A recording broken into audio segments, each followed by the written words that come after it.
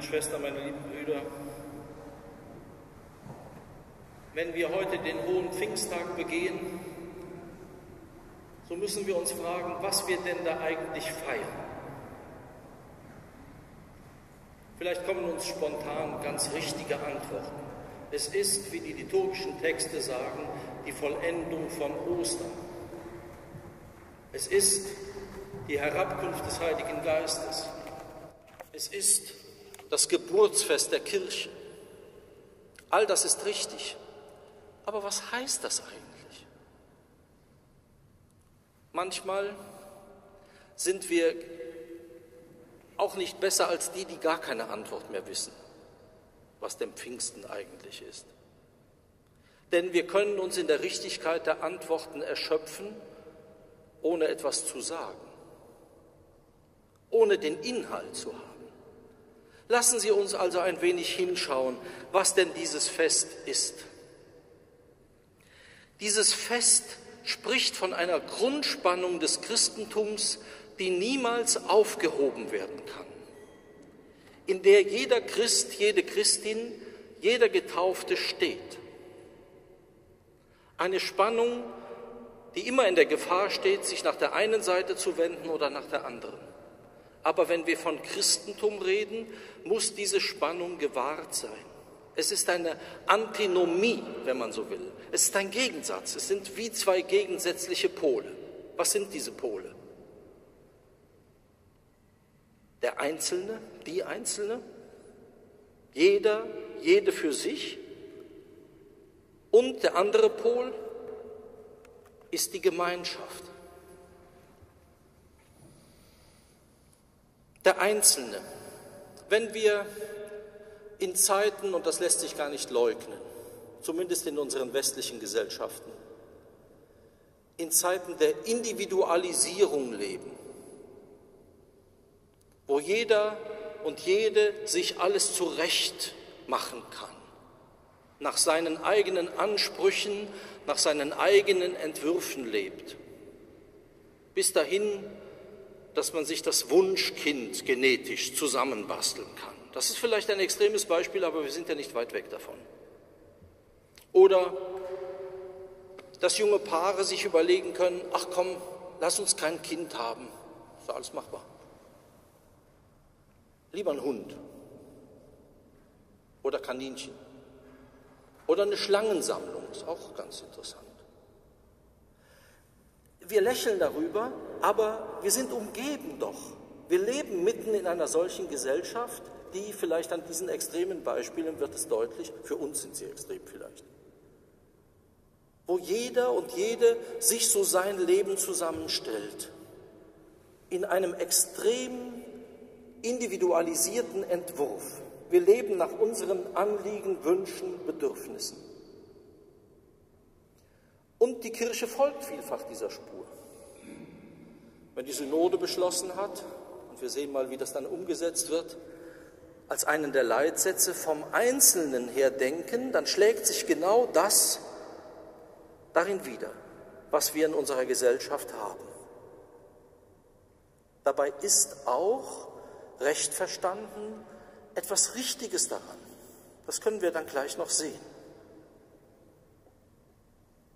Gleichzeitig beschweren wir uns permanent, und das nicht nur innerhalb der Kirche, über eine Ellbogenmentalität in unserer Gesellschaft, über Segmentierung unserer Gesellschaft, darüber, dass sie auseinanderfällt, dass es nichts Verbindendes mehr gibt, keine gemeinsamen Werte mehr gibt.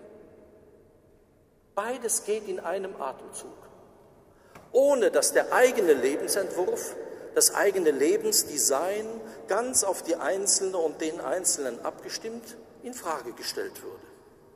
Vielleicht hängt das zusammen. Egoismus aller Orten, übrigens auch in der Kirche.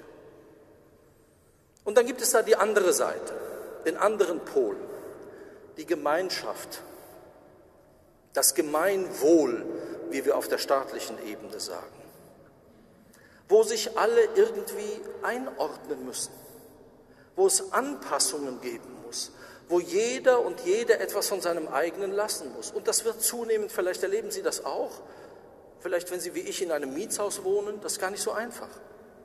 Da gibt es unterschiedliche Parteien, da sind zum Beispiel Zeiten der Ruhe vorgesehen, aber das interessiert nicht unbedingt jemanden.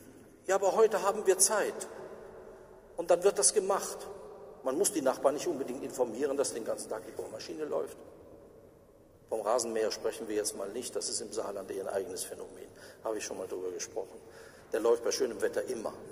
Das ist ausgenommen. Aber eine Rücksichtnahme, liebe Schwestern und Brüder, die sich auf das Gemeinhin, das Zusammenleben auswirkt, finden wir im kleinen Bereich wie im großen Bereich immer weniger. Und dann geschieht es wie gestern. Da schnappt sich einer eine Knarre und schießt die eigenen Leute aus der Familie um. Das ist eine extreme Folge dessen. Warum erzähle ich das? Warum werden Sie fragen, das sind zwar vielleicht richtige Beobachtungen, so irgendwie haben wir das auch schon festgestellt, aber was hat das mit Pfingsten zu tun? Sehr viel. Denn Pfingsten, die Gabe des Geistes, ist genau diese, dieses Fest und die Gabe, die beides verbindet. Unsere Texte sind voll davon, wenn wir nur recht hinhören. Ja, es stimmt. Wir haben das eben in der Apostelgeschichte gehört, wie das mit den Einzelnen ist. Dass die Gabe des Heiligen Geistes wie in Zungen von Feuer sich auf einen jeden von ihnen niederlässt, auf den Einzelnen. Aber es stimmt auch, dass Lukas vorher schreibt, alle waren an einem Ort. Und dann hören wir die unterschiedlichen Sprachen, diese einzelnen Sprachfamilien, die sich da in Jerusalem versammelt haben. Aber alle hören sie in unterschiedlichen Sprachen das eine, die eine Botschaft, die großen Taten Gottes. Da werden nicht neue Taten Gottes erfunden für die Araber und für die Kreter, weil die das dann vielleicht besser verstehen, sondern es ist immer die eine Botschaft. Und Paulus sagt es uns noch deutlicher. Wir sind durch die Taufe in einen Leib aufgenommen und wir bleiben doch einzeln. Die Gaben des Geistes, liebe Schwestern und Brüder, die gegeben sind, die jede und jeder Einzelne für sich entdecken muss, was ihm und ihr geschenkt ist. Von daher ist es richtig davon zu sprechen, Charismen entdecken und entwickeln und vom Einzelnen her denken, aber dabei darf es auf keinen Fall stehen bleiben, denn dann sprechen wir nicht mehr von Christentum. Es gibt, wenn ich das in Klammern sagen soll, Untersuchungen, die sagen, dass wir uns hier in unserem Kulturkreis schon am Beginn der Missionierung der germanischen Stämme mit diesem Gedanken schwer getan haben. Dass es nicht nur um den Einzelnen geht, wie das noch hier am Kreuz der Volksmission über dem Portal steht, das alte Schlagwort, rette deine Seele. Das hat die alten Germanen fasziniert. Die sagt, boah, das war für die eine Entdeckung. Es geht um mich. Es geht um mich und um meinen Gott. Es geht um meine Erlösung. Es geht um meine Schuld. Es geht um mein Seelenheil. Es geht darum, dass ich in den Himmel komme. Das war immer schon sehr wichtig. Und darauf hat sich dann vielfach auch die ganze Pastoral ausgerichtet. Deshalb in dieser Vereinseitigung trifft sich das sehr mit dem Satz der Synode vom Einzelnen her denken. Das klingt zwar modern, ist aber eigentlich uralt, ist nur ein bisschen angepinselt. Aber das ist nicht Christentum. Christentum ist, die Gaben des Geistes zu entdecken und sie einzubringen. Wenn Paulus uns zuruft, dass die Früchte des Geistes Liebe, Langmut, Geduld, Treue sind, wie soll man das für sich selber verwirklichen? Dazu braucht es immer Gemeinschaft. Wenn es diese Gemeinschaft nicht gibt, kann sich das nicht erproben und verwirklichen. Paulus sagt es uns in der Lesung. Wir haben die Gaben nicht für uns, sondern wir haben sie, damit wir sie einbringen, damit der ganze Leib zusammenwächst. Ein großer geistlicher Lehrer aus der Wüste, Makarios der Ägypter, sagt, wenn der Heilige Geist in dein Herz einzieht, dann bildet er in allen Herzen der unterschiedlichen Individuen einen einzigen Gedanken, nämlich den des neuen Adam, des Christus. Wenn wir heute so vorschnell sind, manchmal geradezu vorlaut, man mag dann erschrecken, wenn man eine solche Aussage eines alten Kirchenvaters liest. Wenn da einer mit einer neuen Idee kommt oder einen neuen Stil einführt. Und das ist ganz egal, ob das der Papst ist oder ob das irgendein Dorfpastor ist oder ob das jemand aus der Gemeinde ist. Da ist es klar, boah, das ist neu, da, da ist, das ist der Heilige Geist am Werk. Vorsicht! Nicht jede neue Idee ist schon eine Gabe und ein Wink des Heiligen Geistes. Der Heilige Geist bewirkt in den Herzen, wenn er in die Herzen einzieht, einen einzigen Gedanken in allen.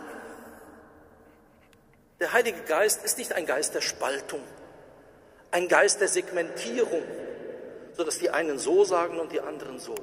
Der Heilige Geist führt zur Einheit. Wir können das sehr schön an den Bebilderungen von Pfingsten, wenn man so will, ablesen. Ich habe jetzt leider heute Morgen keine Zeit mehr gehabt, Ihnen eines zu drucken oder zwei zu drucken, damit Sie das gegenüberstellen können. Aber was uns sehr vertraut ist, ist die einzelne Taube mit einer Flamme oder mehreren Flammen. Da sind wir wieder bei den Einzelnen. Aber was ist mit der Gemeinschaft? Hingegen die Ikone der Ostkirche zeigt für uns etwas eher Fremdes, wobei wir nachdenken müssen, ist das Pfingsten? Okay, wir sehen die Apostel im Kreis sitzen um eine Mitte und in der Mitte sehen wir eine merkwürdige Figur, einen König, der so etwas wie ein Tuch ausspannt, auf den die Apostel alle hingeordnet sind. Wenn man mit den ostkirchlichen Gebeten vertraut ist, dann weiß man, das ist eine Darstellung des Heiligen Geistes. Himmlischer König, du Geist der Wahrheit, komm und erfülle uns, so betet man eigentlich immer, wenn man mit dem Beten beginnt in der Ostkirche. Also es ist der himmlische König, der die Einzelnen zur Gemeinschaft zusammenzieht. Und das, liebe Schwestern und Brüder, müssen wir, denke ich, auch gerade hier bei uns noch einmal neu lernen. Und wenn Pfingsten dazu ein kräftiger Anstoß sein kann, dann ist das wirklich gut. Ich bin mir nicht sicher, ob die verschiedenen Meetings, die wir veranstalten, auch all die verschiedenen Sonderveranstaltungen und, und Prayer-Events, die wir da so haben, ob die wirklich zu einer Neuevangelisierung führen, also dazu, dass das Christentum noch einmal neu entdeckt wird. Ich bin skeptisch, aber vielleicht liege ich falsch. Denn diese Meetings und Festivals führen doch sehr zu einer Vereinzelung. Wo wächst da etwas zusammen? Und zwar ist das anstrengend, das wissen Sie aus der Ehe, das wissen Sie aus der Familie, das wissen Sie von jeder Form des Zusammenlebens. Zusammenleben, auch unter Christen, ist furchtbar anstrengend, weil dieser Drang, dass jeder sich selber in den Vordergrund spielt oder seine Idee durchsetzt oder nach seinem Gusto das machen will, der ist stark in uns. Aber genau dazu gibt es die Gaben des Geistes, dass er uns packt, uns verändert uns verwandelt, uns hineinordnet in das Miteinander, in das Ganze, sodass wir von Gemeinschaft sprechen können.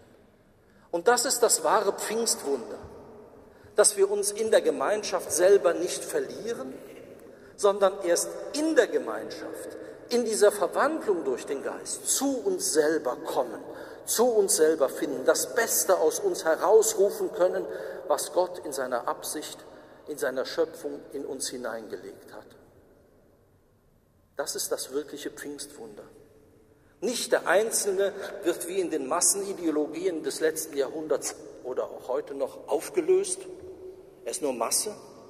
Er bleibt Individuum, von Gott gewollt, so sagen wir als Christen, und von Gott geliebt.